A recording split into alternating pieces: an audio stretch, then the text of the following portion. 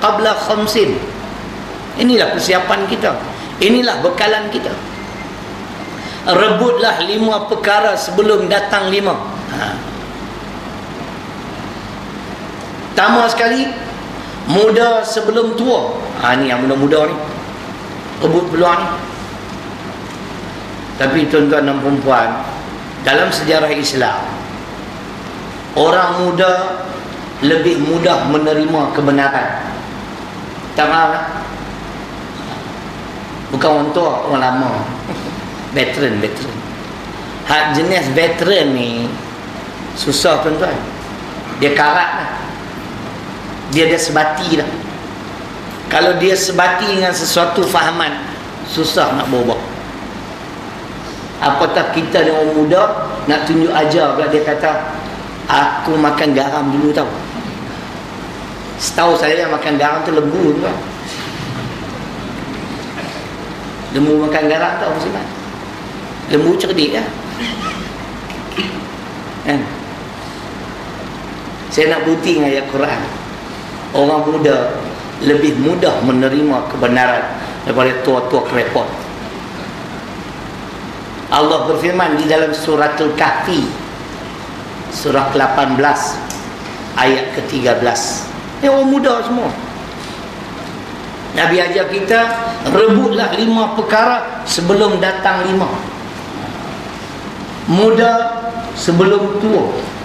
Saya dapat hidayah muslimat waktu muda. Ikut Islam 40 tahun ke bawah pemuda 40 ke 50 dia kira matang. 40 ke atas baru matang hak below 40 ni belum matang lagi. Walaupun profesor. Minta maaf. Ha, kan?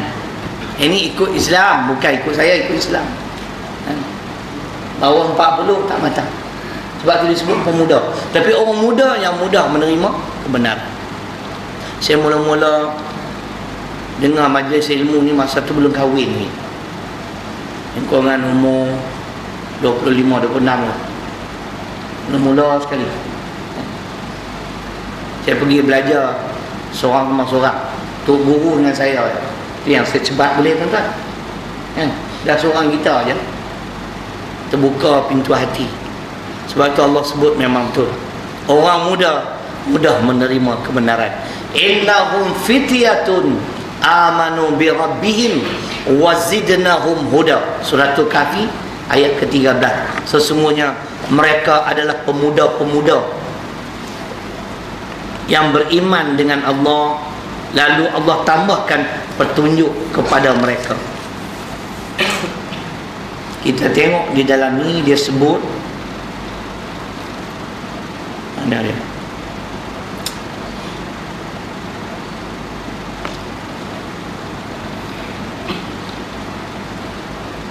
mana dia no?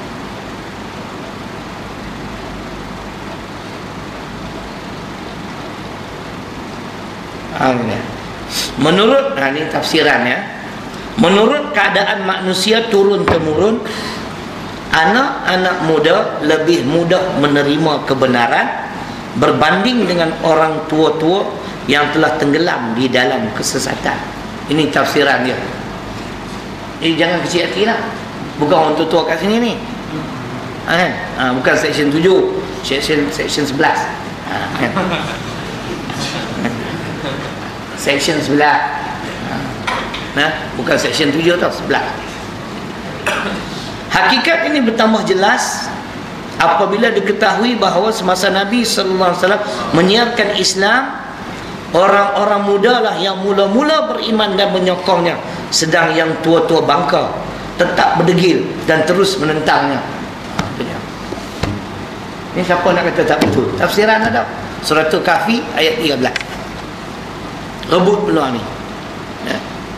lima yang Nabi sebut. Bukan soal muda ya. muda sebelum tua. Nak belajar apa belajar sekarang juga. Esok bila dah tua baru nak belajar Quran. Ya. tak masuk kata ustaz. Saya belajar waktu muda Quran. Guru saya 10 orang. 10 ha. saya dengar mana-mana guru pandai ya bab Quran saya pergi tunggu tolong dengar sikit bacaan saya. Okey tak okey? Kan? saya hafal mana-mana surah okey tunggu pegang Quran. Semak bacaan saya. Saya tak tengok tau. Saya baca sebagai hafal tapi di segi hukum betul tak betul? Dia tengok. Eh, betul semua. Allah ingat semua. Mat tu mat ni. Mana panjang 4 harkat 5 harkat. Lepas tu kalau saya jadi imam lambat sikit. Kan? mat yang paling panjang ingat tau. Mat rempit 20 harkat. Ha, cerita dia. Waktu muda tu saya belajar pada seorang guru selama uh, dua tahun setengah tu. Ya dua tahun setengah. Seminggu sekali ya setiap rehat saya pergi rumah waktu muda. Makna seminggu sekali setahun berapa puluh minggu lima dua tahun seratus empat minggu setengah. Lebih kurang seratus tiga puluh kali je. Alhamdulillah. Bila saya resign saya dah berhenti kerja nak berhenti kerja saya bagi tahu dia. Dia kata okey lah. Hang ni layak lah jadi imam boleh bacaan first class. Dia ni Johan tuan-tuan. Johan tilawatul Quran negeri Perak